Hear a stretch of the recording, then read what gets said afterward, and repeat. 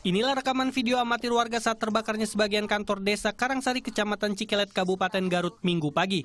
Ruang yang terbakar adalah ruangan aula atau ruang rapat dan sebagian ruang kepala desa alami kerusakan.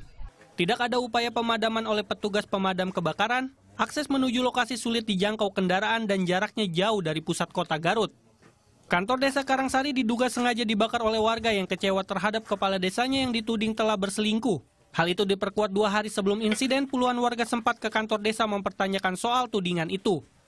ruangan rapat aula rapat ya aula aula hmm, aula aula rapat ya Aura kantor desa tadi. ya ya aula Pas kejadian ada orang nggak?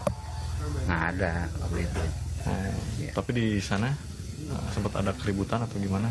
kalau waktu ke belakang belakang ada yang menyampaikan aspirasi ke sini waktu hari Selasa sama hari Kamis Minggu malam pihak kepolisian dari Polres Garut dan Polsek Cikelet gelar olah TKP dan identifikasi. Petugas mencari bukti dan penyebab pasti kebakaran. 0230 di Desa Karangsari itu masih dalam penyelidikan kami. Tadi kita sama-sama sudah ke TKP. Beberapa barang bukti seperti batu, arang bekas kayu yang terbakar, botol air mineral langsung dibawa petugas. Kini kasus ini langsung ditangani unit Jatanras Polres Garut. Ervan Lugina melaporkan untuk NET.